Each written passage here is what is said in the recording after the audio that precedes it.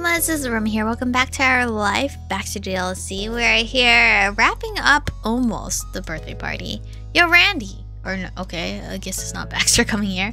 Miranda's big brother slipped through the few cracks in the wall of dancers until he reached the heart of the floor. Food's here, it's cake time. Woo! Yay!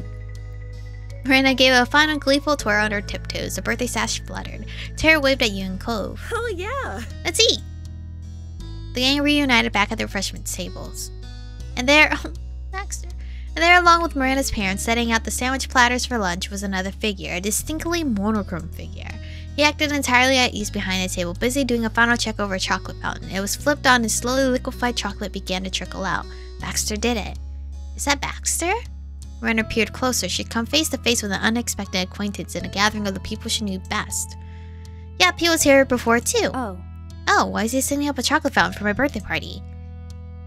Terry's hands went to her hips and she came out with the whole story.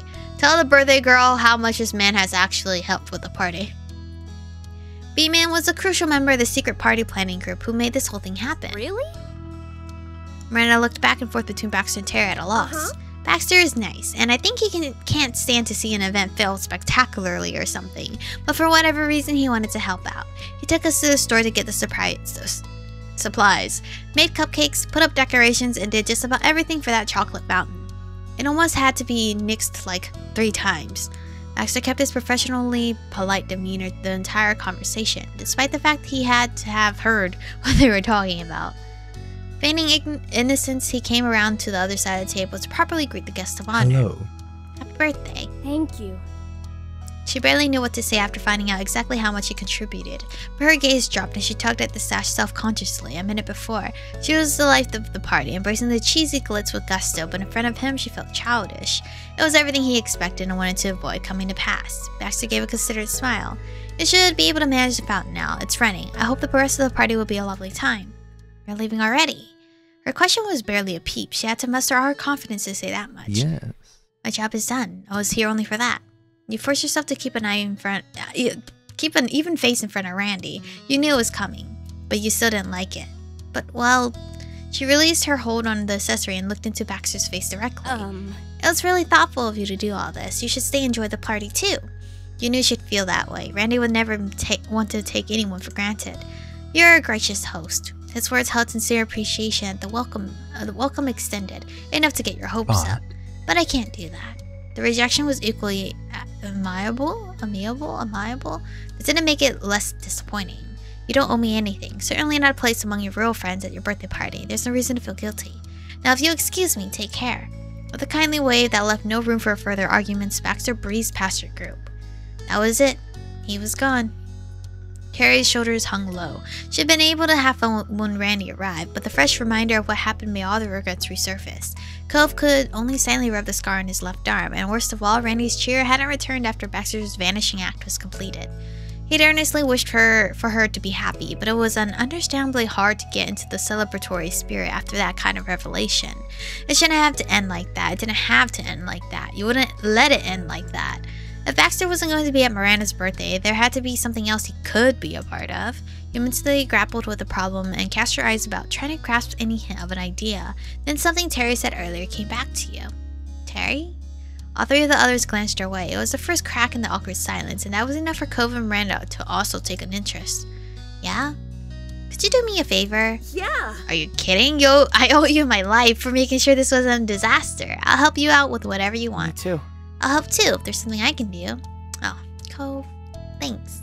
Miranda, your birthday party's gonna be over in a couple hours, right? Mm-hmm. And Terry, the room is ours all the way until the building closes. Yep, you've gotta rent it for oh, you've gotta gotta rent it for the entire day to get this place.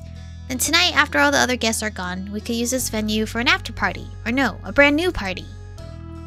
Another party? He tilted his head curiously, incredulously, sorry. Yeah, another party, not a birthday. It could be our very own Summer soiree. That's cute.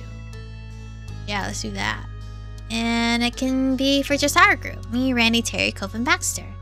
We could try to set aside some of the food and drinks for later, clean up the mess when everyone is left, and we'll have slow music at this event.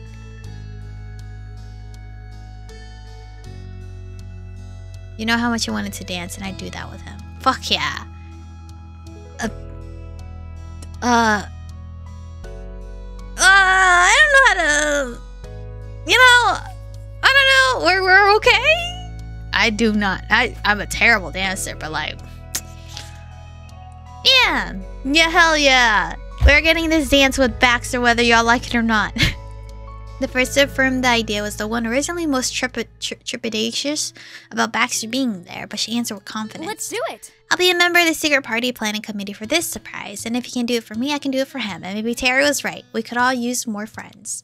Cove did not look convinced at all uh, of it, of all of that, all of that, though couldn't disagree with the main suggestion. Okay. A white grin pulled at Terry's face, seeing this new plan forming. We should catch him before he's gone. He might not get the message if he escapes now. Oh, you're right. Thanks, and bye. You rushed through the guests coming in all on all sides, clamoring for their lunch. Bursting out of the party room was like walking, waking from a dream. The pink extravaganza was replaced by a plain white hallway, and the only sounds were your own footsteps echoing off the linoleum floors. You'd been able to forget that the normal were for a while, but had been there for the entire time, going on as usual on the other side of the door. But Baxter wasn't there either kept going through the lobby and into the parking lot. His hair might have fit in with the black tarmac and the white painted lines, but the camouflage couldn't fool you. He was at the end of the road, moments away from getting into his car. Pushing yourself further, you shot down the wide open space. He turned around, hearing something rapidly approaching. I swear. Ugh, don't be upset at me. Chico, did something happen? Wait, please tell me it's not the chocolate fountain again. oh, that's why he was upset. Your gait had slowed immensely in the final feat, and you came to a stumbling stop in front of Baxter. He waited patiently for an answer. Nothing is wrong. Well, that's really. If you could have fooled me, however, you shouldn't be running out of the building if there are no issues. Go enjoy the damned fountain. Baxter's grin was teasing, harmless, though you didn't miss the layer of genuine frustration at the stupid machine after all the trouble it had caused. He smoothed his face and shirt out in fluid motions. I'll be fine. Perhaps I'll take a nap, hmm? So cute. You can go take that nap and come back, though. I'm going back. I just have to ask you something I first. see. I'm all ears. Okay, so I know you're already done a lot. I've, I know you've already done a lot for this party and us. But if you're not too exhausted, can you come here again tonight? Uh, around 7 p.m. Ash's almost unshakable smile was lost to suspicion. Not good. This was a surprise you were planning. You threw out the first cover that popped into your head before he could speak the obvious question on the tip of his tongue.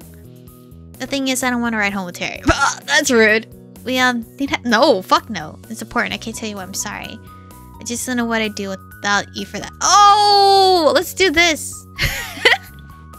a razor sharp smirk crossed his face. The gaze cut right through you, even more not good. But he wasn't there when Terry mentioned how long you'd have the room. Baxter might know something was up, but you assured yourself he couldn't guess exactly what. You stood your ground. Certainly.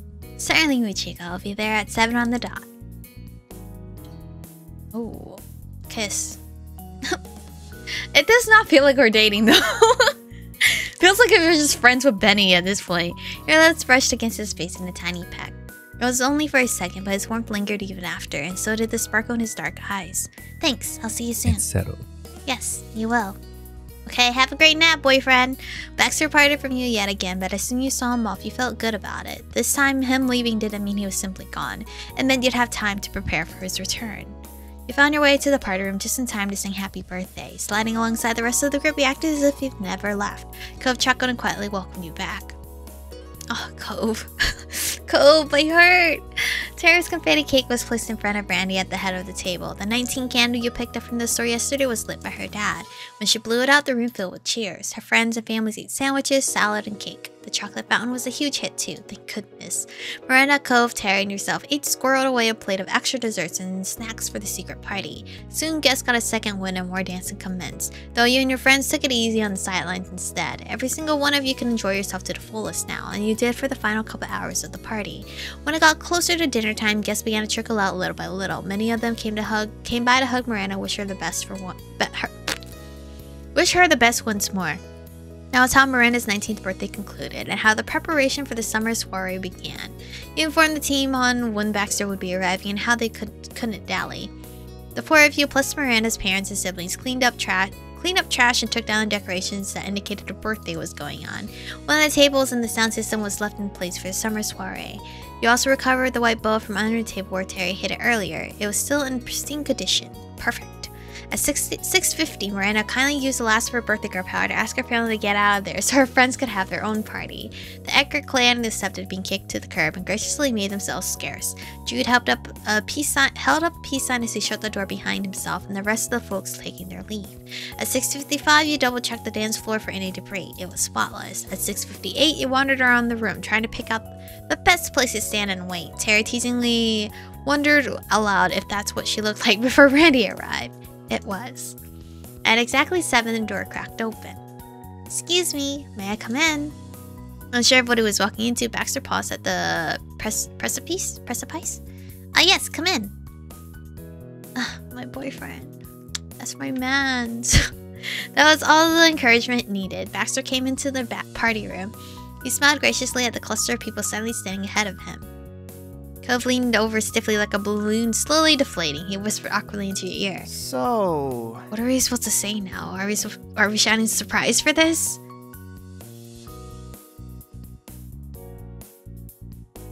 Uh, surprise! so cute! Aww. Unexpected, not to mention delayed exclamation at his entrance gave Baxter a start. Welcome. How good of you to come, Baxter. With the way Tara rubbed her hands together and the vague sense of satisfaction in her tone, she was giving the impression he'd fallen into a nefarious trap. Now the guests have, have finally arrived and we can begin. What? What do you mean? I should think the guests have left by this point. Baxter had generously low had a generously low level of confusion at the strangeness, merely raising his brows his brow rather than making a hasty retreat. Even though Baxter would probably be the last person you knew who'd be scared off by villainous shenanigans, you decided to avoid any potential misunderstandings. Well, we're here for a summer soiree. A summer soiree, you say? You've got it. This event is Miranda's birthday no more. She dramatically crossed her arm over the other and flung them outwards, as if swearing off the entire concept of a birthday. Terry had to rent this room for the entire day, even though we only needed it until the middle of the afternoon. So we decided to use the last few hours we had here to have another party, one that's for the group of us, so you're invited. You parted from the bunch to position yourself right in front of the stunned Baxter. Aww! You didn't flinch as she draped the white feather boa over his shoulders. Baxter's mouth opened wordlessly as he stared down at your face. He tentatively lifted up a hand, brushing his fingers against the feathers surrounding him. He had to check that it was truly there. Then, with eyes still wide, a delighted grin grew across Baxter's face. Oh, are you happy? I'm like the best girlfriend you'll ever have, right? And then we'll break up and forget about each other for years. To be honest, I must admit, I assumed you were scheming something, but I absolutely did not think it'd be this. I never should have doubted your ability to throw a surprise party. Terry, Randy, and Cove crowded around two of you to form the group with the newest member. Didn't I tell you the best way to have something be a real surprise is if you do it all at the last second so no one even has a chance to put it together? you're very good. Yes, you did. I suppose there are some advantages to the strategy after all. And so the summer soiree commenced. You hung around the almost barren snack table. It was the only piece of furniture left behind from Randy's party. There weren't even chairs, mostly. Randy had joked that Baxter could take the throne now if he wanted to. That part came with the room. He courteously declined. Dinner was simple, more sandwiches and salad. It was almost um, it was also a mostly quiet meal, but that's exactly what was needed. At 7 a.m. that morning, you left to prepare for Miranda's birthday. Twelve hours later, he was still there lazily enjoying one another's company after an extremely long day couldn't be overappreciated. I, uh... Uh, Cove wiped crumbs from his mouth after he was done eating and just Baxter without being spoken to first for a change. There's a dessert for you too, a slice of the cake and one of the cupcakes. Thank you. I'd like to try the cake Terry made, but I've had quite enough of the cupcakes. Fair enough, he was well acquainted with the confections, even if he had never taken a single bite. Then can I have it? Absolutely. Please do. Don't forget the chocolate fountain. Terry jumped in with another sampling suggestion. That contraption was Baxter's second, arguably more formidable enemy of the event. Still going strong, you've got to try it. However, he chuckled. Alright if you insist. For all the trouble it caused, the fountain had indeed kept flowing even as the night went on and dozens of treats passed through it. That was the only part of the equation that was in good shape, however. The platter of goodies alongside it had become a plate of baddies. What remains was some snapped pretzel fractions, scraps of fruit, and mostly the full-sized granola bars. Cookies and marshmallows had, to the shock of no one, been more popular choices. Those were gone, lo gone long before the first party had even finished. Not one to complain, Baxter plucked up a granola bar and slipped one, one end into the rippling sheet of liquid chocolate that he'd melted himself. Cove, meanwhile, wasn't going to settle for that, despite being the one who bought, brought them. He tore off a piece of his second cupcake of the night and stuck it stuck that into the fountain. His fingers got coated as well. Baxter languidly watched Cove make a careless mess. You know, food that crumbly will get into the chocolate and never mind. Smirking, Baxter removed his bar from the fountain and flipped around. He leaned his backside against the edge of the table. Honestly. What does it matter if the chocolate clumps? I wouldn't care if the fountain broke at this point. He's like, fuck that chocolate fountain. All right, when we get married, no chocolate fountain. That, okay, noted. But this is where we're to stop for today's episode. I really adore Baxter. He's so cute. He's so sweet. He did so much for someone he doesn't even know. Oh, I just hope he remembers us as like a good memory. Well, thank you guys for watching today's episode. Stay beautiful, and I'll see you guys in the next one.